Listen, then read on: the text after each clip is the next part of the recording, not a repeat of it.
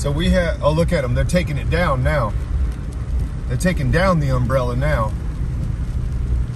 Look at them. Taking down the umbrella. Gonna sit there with an umbrella bullshitting this whole day. Why don't you go do your damn jobs?